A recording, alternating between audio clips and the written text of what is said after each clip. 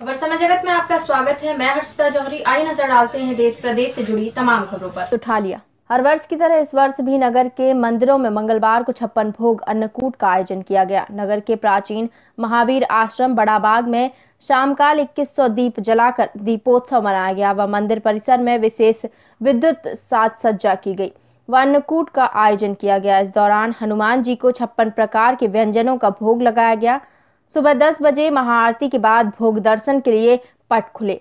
इसके बाद शाम को 2100 दीपक जलाकर दीपोत्सव मनाया गया व महाआरती के बाद प्रसाद वितरण किया गया। बाबा का आकर्षक श्रृंगार पंडित अरुण शर्मा ने किया। वहीं नगर के श्री राम मंदिर में अन्नकूट का आयोजन किया गया। यहाँ भी रात्रि आठ बजे महाआरती के बाद प्रसाद वितरण किया गया। नगर के सदर बाज़ार स्थित नर्मदेश्वर महादेव शिव मंदिर में भी घनश्याम अग्रवाल परिवार द्वारा भजन संध्या व अन्नकूट का आयोजन किया गया, जिसमें स्थानीय कलाकारों ने संगीतमय भजनों से मौजूद भक्त काफ़ी आनंदित हुए। भक्त सभी उक्त सभी स्थानों पर श्रद्धालुओं ने बड़ी तादाद में पहुंचकर प्रसादी ग्रहण की।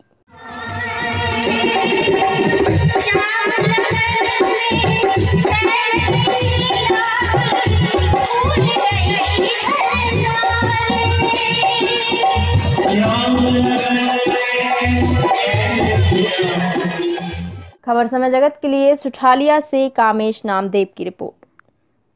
खबर समय जगत, एक संदेश पूरा देश, एक आगाज़ सच दिखाने का।